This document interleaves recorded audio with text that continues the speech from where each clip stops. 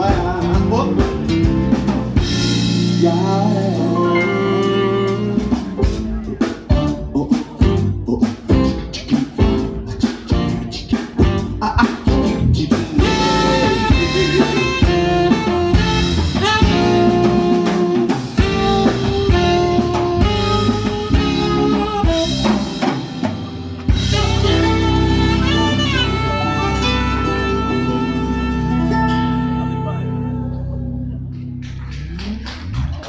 Thank you. Thank you very much. Lista de compras.